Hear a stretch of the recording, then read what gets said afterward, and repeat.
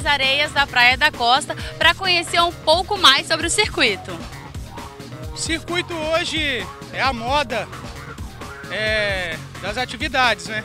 E o conceito do circuito é o que? São exercícios, várias estações que auxilia na agilidade, velocidade, coordenação, força, força explosiva, resistência muscular, exercício de coordenação muscular. Então é, é um mix de atividades, é um, é, várias estações de atividades que ao decorrer de certo tempo, o exemplo 30 segundos, a gente vai passando por diversas atividades e isso monta um circuito. E quais são os resultados esperados para quem entra aqui na aula? A aula é bem dinâmica, então você tem uma perda calórica muito grande, até mesmo com esse dia bonito, né?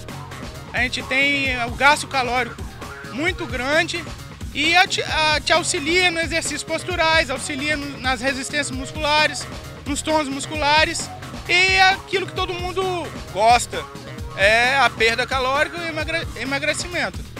É uma atividade também para quem já está cansado da rotina de academia, né? Exatamente, Rana.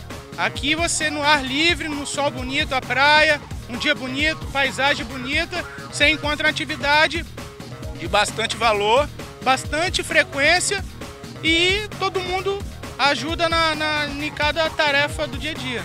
E então essa atividade também é auxiliar, é recomendável uma dica para quem vai correr as 10 milhas garoto?